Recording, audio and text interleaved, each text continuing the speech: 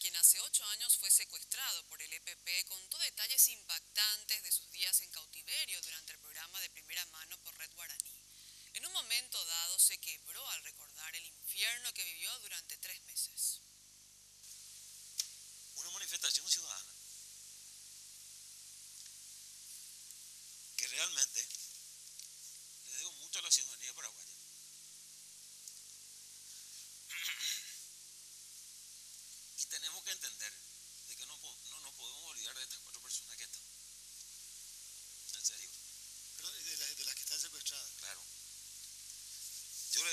ciudadanía paraguaya. A mí, todo ese, ese apoyo, esa, esos, esos rezos, esa cadena de oración, me, me, me dio, me blindó. Con esta expresión, Fidel expresaba el epílogo de todo el martirio que vivió por 93 días. Me dijeron, este, si tenés algo a llevar, vamos a ir a un lugar tranquilo. eh, si tenés algún libro o algo, agarrá y no terminé de contarle, ¿verdad? Agarro yo el libro, no llevé ropa, eh, me fui con la ropa que tenía puesta, ¿verdad? Eh, con esa ropa estuve los primeros 45 días, que recién a los 45 días me bañé por primera vez. En un momento de extrema desesperación, Fidel decidió hacerle un pedido muy especial a un ser superior. Pero en esa parte donde decía, hágase tu voluntad así en la tierra como en el cielo. Y si su voluntad era que yo no me volviese a encontrar con mis hijos, con mi familia, que yo terminase en ese pozo, como ocurrió con, con- con familiares, amigos nuestros, ¿verdad? De la Varga. Entonces yo decía a la pucha, eh, si me das la oportunidad, mostrame el camino para poder construir algo, para servir, para solucionar este problema.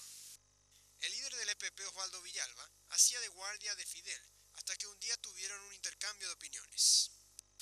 Le dije que podíamos agarrar y repartir todo el Paraguay en 7 millones de partes iguales y de que dentro de 20 años íbamos, íbamos a tener diferencia, porque el que tiene el principio del ahorro, ¿verdad? está la gente que tiene el trabajo como, como prioridad, ¿verdad? y está el tipo que no hace nada, ¿verdad?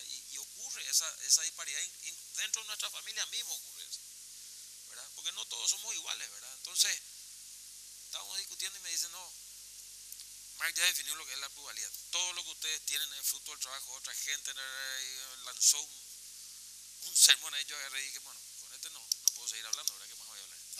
El pago por la liberación era de 500 mil dólares. Para asegurar la entrega, Zavala propuso el método de lanzar con un bolso desde el aire el dinero. Eh, yo le sugerí que, que hagan el pago, ¿verdad? Y De esta manera. de esta manera. Sabía que... que- que- Porque en que- algún- varias veces fuimos, una vez fuimos de pesca con Diego, mi hermano, y un grupo de amigos nuestros se nos había adelantado y, y nosotros tomamos la decisión de ir hacia, hacia Bellavista, ¿verdad? Ahí. Hacia Lapa.